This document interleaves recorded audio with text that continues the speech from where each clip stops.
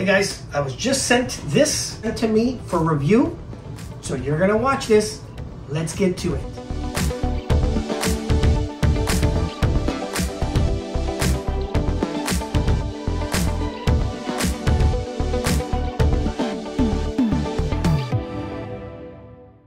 Welcome back to the Joe Jaguar City Smartphone Astronomy.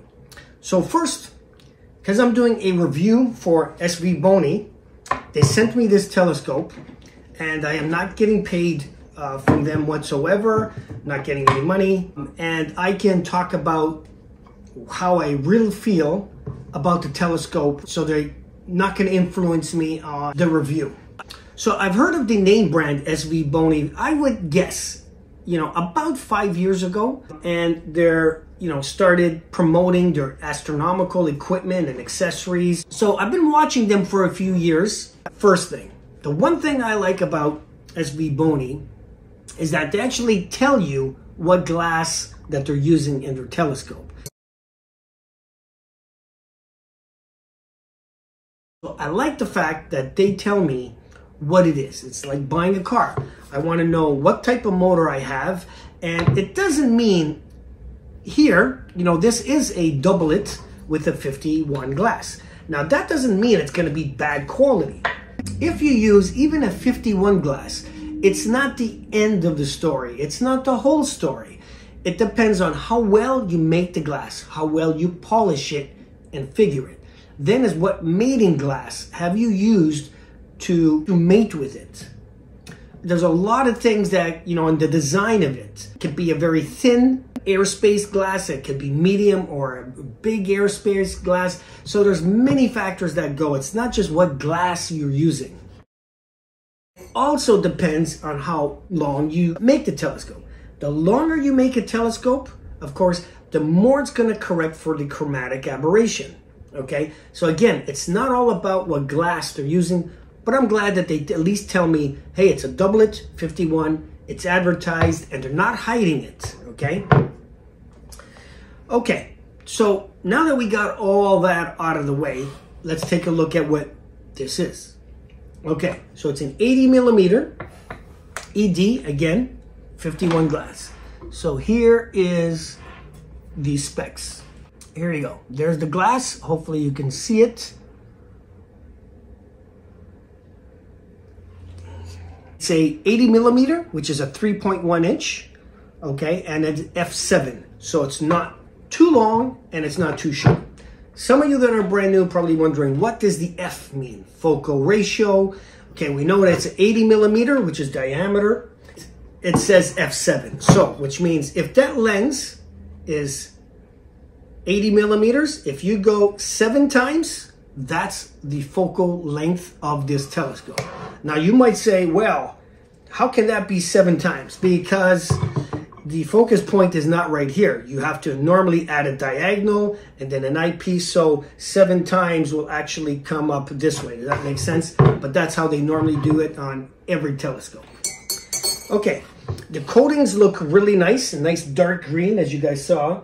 It has a few baffles in there. It looks like three baffles. So which means that will cut down on stray light and reflections. I like these thumb screws here.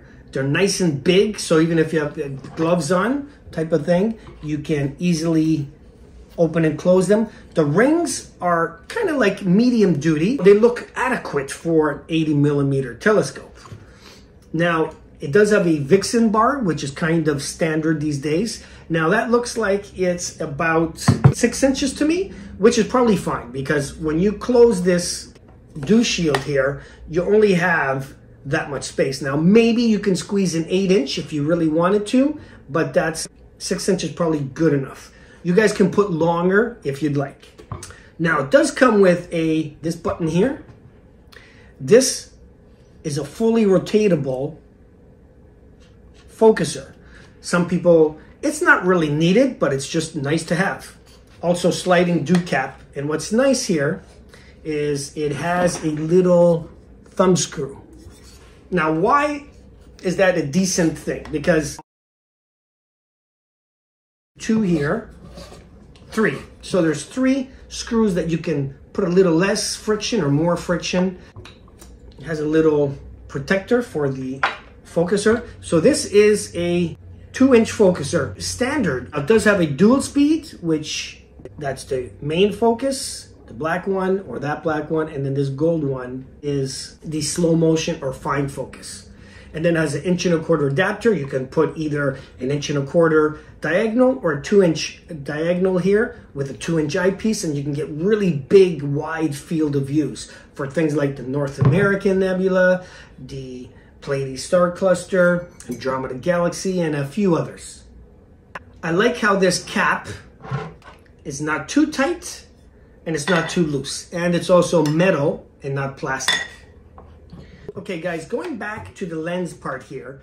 Now, SVBONY uses a mating element that is lanthanum. Hope I'm saying it right. I think that whoever used it before me probably is an imager. And because when I racked it in and out, there was a humming noise, almost like a little scratching noise, like zoom, zoom.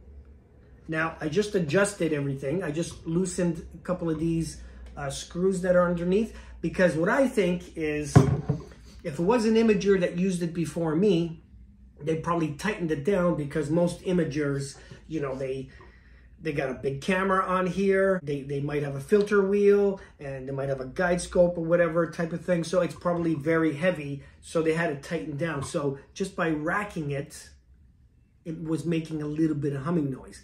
I don't think there was anything wrong, but it just was, you know, touching. There was more contact and you can just hear it move in and out. Now that I loosened it, it's a bit softer and I don't see anything wrong. Now, there is a little friction on here. I'm talking about no feather touch or Moonlite focuser.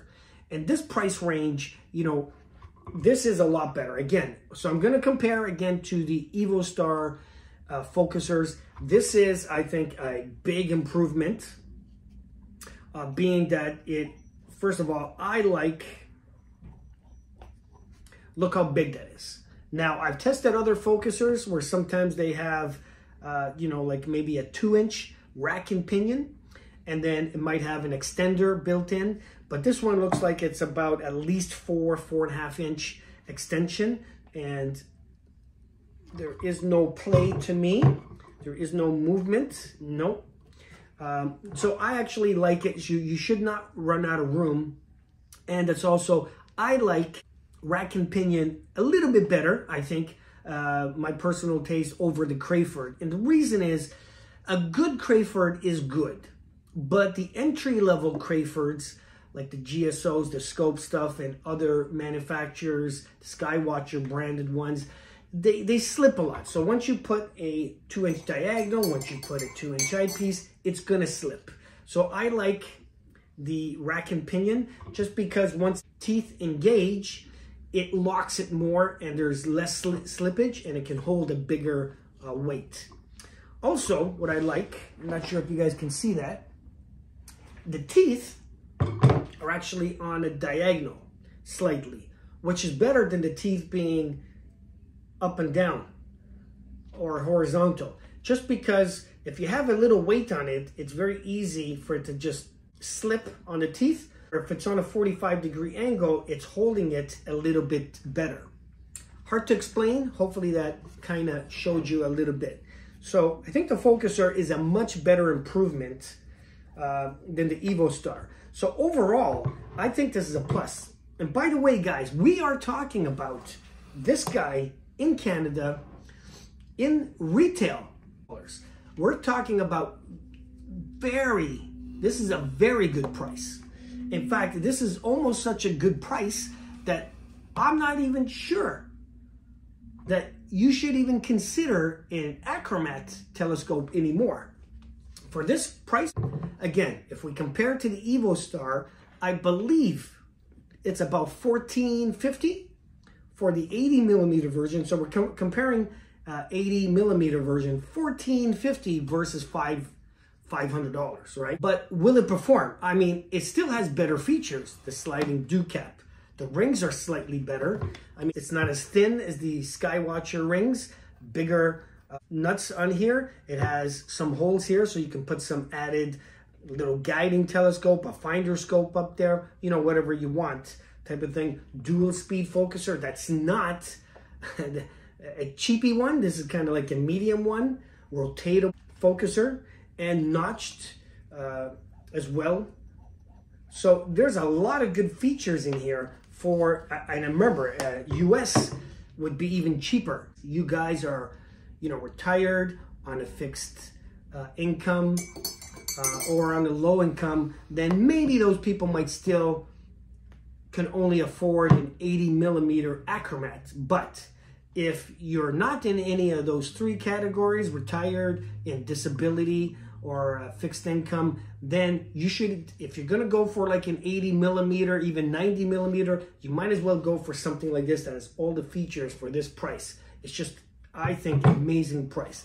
And I'm not just saying that, but you know, I have owned the EvoStar 80, 100, 120, 150. I've owned them all. I know what you get for the price, and that's why it's three times the cost. Will this be the new entry standard of you know people getting into hobby? Will this now be the standard telescope now that people are going to get?